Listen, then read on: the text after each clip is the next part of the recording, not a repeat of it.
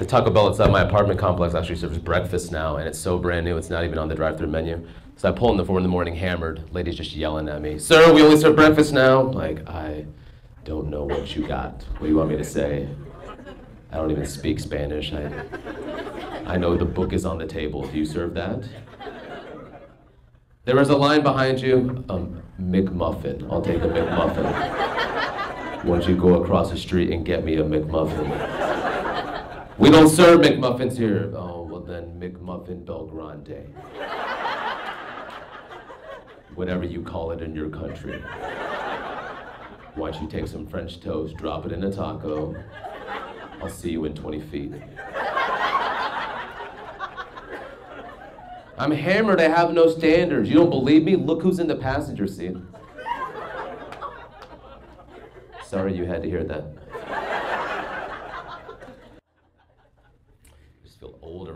Cousins, man. My cousin has a one-year-old. She baby-proofed the house. Everything from the waist down is empty. Cabinets, drawers. It looks like a Oompa Loompa robbed their house. And I feel bad for the little boy because he'll never learn consequences. You know, when we were little kids, where did our mom put the household cleaning products? Underneath the sink, yeah. I could open it up, grab some Pine-Sol, drink it, be like, shit, shouldn't have drank that. It's got a lemon on it, but it doesn't taste like lemons. It tastes like dizziness and regret. He has non-toxic crayons, non-toxic. That's basically Crayola's way of saying, hey, we know you suck as parents, let him eat whatever he wants. Because if you're gonna make crayons non-toxic, make them 100% edible. Like give fat kids diet crayons. right? With, with 2% glue. Non-toxic? Who's ordering toxic? Could I have some toxic crayons? My kid's kind of an asshole. We had this rule in my house when I was little. If my parents told me not to play with something and they caught me playing with that something, they beat my ass with that something. Curling iron, high heels, whatever. I'm six years old, okay? My dad grounds me from all my toys. He catches me playing with my teddy bear. Now, it sounds cute. Yeah, you know what? Get beaten with the teddy bear is kind of fluffy. Maybe it tickles. He hit me with the face side, with the plastic nose, the face side. And then he cut me with the paper that sticks out the teddy bear's ass. He paper cut me like that.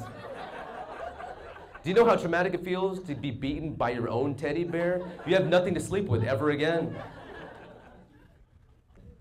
I put some stuff up on YouTube. I was up on YouTube. I put some of my stand-up clips on YouTube. Thought it would help me promote myself a lot better. It didn't. You know why? Because anybody here can be on YouTube. There's no screening process. They don't check for talent or credits or anything. My video has 20,000 hits on YouTube. You know what has 57 million hits on YouTube? Sneezing Panda.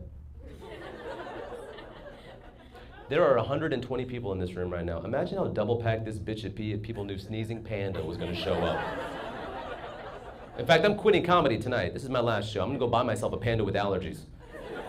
Sell out arenas all across the country just running a feather underneath his nose on stage. Come on, buddy, it's showtime. That's what I hate about the internet. It made everybody feel like their opinion matters. You can write the most hateful, racist crap, and it pops up instantly for the whole world to see in one second. Remember back in the good old days when we were growing up? If you want to tell the world that Jessica was a whore, you had to go to a public bathroom and carve it into the stall wall. Whenever I'm at Starbucks and they see a jar that says tips, I spit in it. And then I tell the cashier that I'm dyslexic.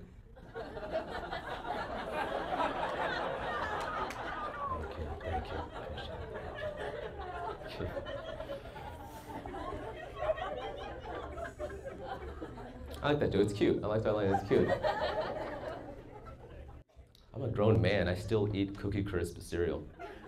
I love Cookie Crisp cereal. You know why? It's the cockiest of all the breakfast cereals.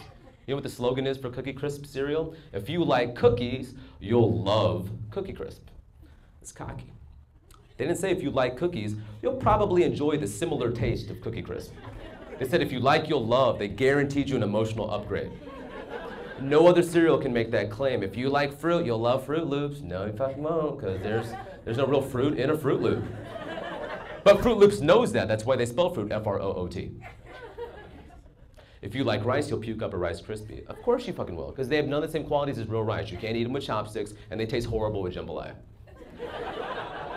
I want my cereal to show confidence and authority. Captain Crunch. Amen. High ranking military official. Followed by a manly sound like crunch. I'll fucking eat that. Sergeant Soggy, not interested. Not interested. We only eat food that has high ranking, powerful jobs because we trust and respect those jobs. Um, Captain Crunch, Dr. Pepper, Burger King. We respect those jobs. Nobody would ever eat cream custodian. Prostitute Pringles. Ho I can't even watch Food Network. They're cooking with things I don't have in my kitchen. I can't relate. Oregano, olive oil, pots, pans. You know I need a show for me. Iron Chef Boyardee. That's what I need.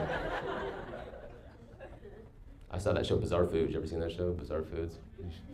Last, last, last season, he was in Ethiopia eating a deer penis.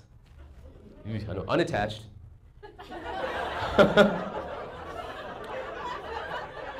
He's like chasing down a season finale. Come here, come here. We're running out of tape. But here's the funny thing he's sitting there eating it. Everybody else around, all the Ethiopians around him, they're just laughing at him. And at that point, I realized in America, we call that show Bizarre Foods. In Ethiopia, they call it Punk'd. I live by myself. I live in an apartment. It's, uh, it's pretty awesome. I love living by myself. But uh, sometimes I find myself doing things that make me feel lonely. Last week, I ate an entire birthday cake by myself. I know. But it wasn't my birthday. Let me explain real quick. If you uh, order a personalized cake at the grocery store, right? You don't pick it up in three days. They sell that cake to the public. I bought it. I don't know if you know how creepy it feels to eat an entire birthday cake that has somebody else's name on it, but it feels like you killed that person on their birthday.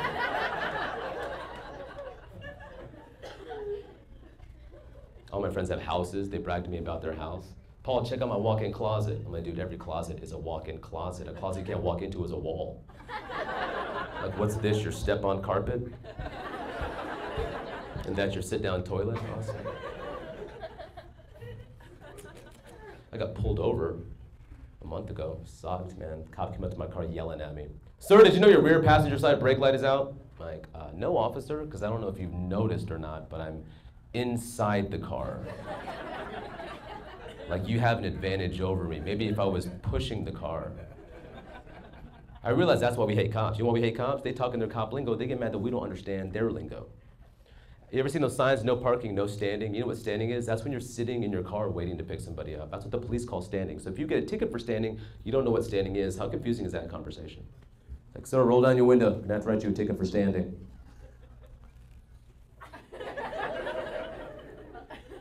Um, I was standing earlier at Starbucks. Why didn't you write me a ticket then? Sir, you're standing now. You're standing. Have you never watched Sesame Street? Because what's the most confusing, embarrassing thing? You got to go to court in two weeks and fight the ticket. Sir, please take the stand. Okay, wait a second. Um, you want me to stand in the stand or sit in the stand? Because I ain't falling for that shit again take things way too literally. That's my problem, man. I could never be a cowboy in the Wild West. First off, Indian cowboy, ironic. Yeah.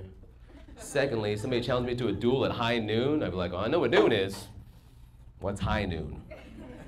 Is that like 420? I mean, I don't even know anything about cars, man. My car breaks down all the time. I just pop open the hood and stare. I mean, that's all I know what to do. That's what I see people do on the side of the street. Just, I don't know how long I'm supposed to stare for, but. Literally, oh, I could pop open the hood, there could be two dead monkeys right there. Honestly, and I would have been like, well, that's clearly the problem. Those monkeys are dead. We, we need some live monkeys to get this party started.